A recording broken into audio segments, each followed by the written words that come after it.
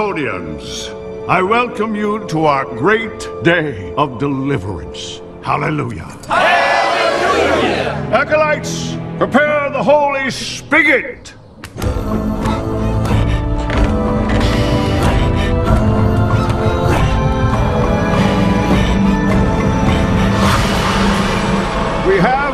Newcomer amongst us today, my friends. A man I think needs little introduction to you. So bold has been his entry into our fair society. Mr. Rango, would you step forward?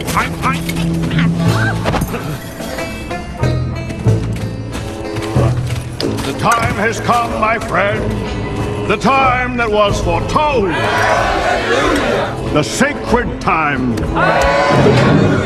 The time of destiny. The time of deliverance. It is the time of hydration.